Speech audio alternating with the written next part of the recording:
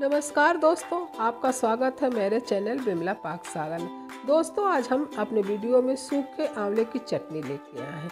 आपको तो पता ही है कि आंवला कितना फ़ायदा करता है। जैसे मेरे स्किन को निखारता है, बालों को भी लंबा करता है और आँखों की रोशनी को बढ़ाता है, डिहाइड्रेशन ठीक करता है, कोलेस्ट्रॉल के लेवल को भी ठीक रखता है और खून की कमी को भी मेंटेन किए रहता है। तो दोस्तों, इसमें विटामिन सी की भरपूर मात्रा होती है आयरन भी होता फाइबर भी भरपूर मात्रा में होता है। है कि इस समय कोरोना कितना बुरी तरह से फैला है, उसके लिए हमारे शरीर में विटामिन सी का होना बहुत ज़रूरी है। तो जो कि हमारे शारीरिक क्षमता को बहुत बढ़ाता है।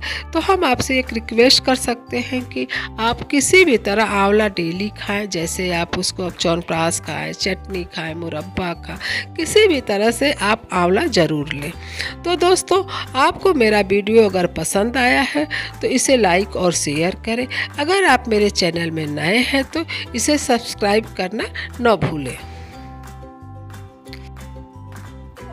सूखे आंवला का चटनी बनाएँगे। एक कटोरी सूखा हुआ आंवला लेके पानी में भिगो दिए थे एक घंटा पहले। फिर उसको निकाल कर अच्छे से धो करके सूखे कपड़े में हम इसको सुखा लिए हैं। चार से पाँच चम्मच सरसों का तेल है। ये भी शुद्ध है घर का बना हुआ है। एक चम्मच बड़ा जीरा पाउडर, दो चम्मच बड़ा पचफोरन पाउडर है। इसमें जीरा, मेथी, मंगरेल, अजवाइन राई और सौंप से ये बना हुआ है। पहले इसको हम लेकर के भून लिए हैं, फिर पीस दिए हैं। 25 से 30 पीस लहसुन का छिला हुआ कली है। पाँच से छः पीस हरी मिर्च है। आप चाहे तो लाल मिर्च ले सकते हैं, लेकिन हम लाल मिर्च नहीं लिए क्योंकि हम आंवला की चटनी बना रहे हैं। तो गुड़ों का खान है। लाल मिर्च नुकसान करेगा। आप अपने टेस्ट अकॉर्डिंग जो चाहे वो ले सकते हैं। तीन से चार टुकड़ा अदरक के हैं। एक चम्मच कलौजी है या हम अपने लैंग्वेज में इसको मंगरेल कहते हैं। एक चम्मच अजवाइन है। आधा चम्मच हींग है। टेस्ट अकॉर्डिंग नमक है। दोस्तों, लहसुन, मिर्चा और अदरक को हम छोटे छोटे टुकड़ों में काट लिए और इसको मिक्सी के जार में डाल करके दर दरदरा पीस लेंगे दोस्तों, गैस जलाकर हम उस पर कढ़ाई रख दिए हैं और चम्मच सरसों का तेल डालेंगे।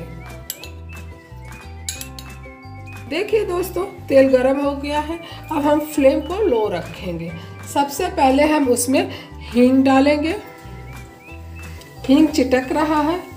फिर इसमें आधा चम्मच राई डालेंगे। देखिए, राई भी चिटक रहा है। दोस्तों, अब हम इसमें लहसुन, मिर्चा और अदरक का पेस्ट डालेंगे और इसको चलाएँगे। थोड़ा इसको गर्म होने देंगे।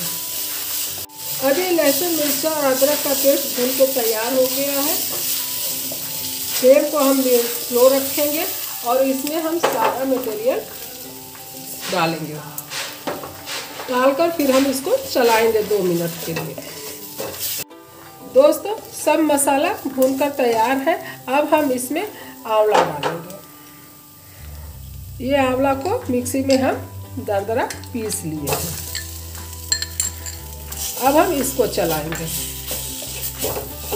इसमें टेस्ट के अकॉर्डिंग हम नमक डालेंगे।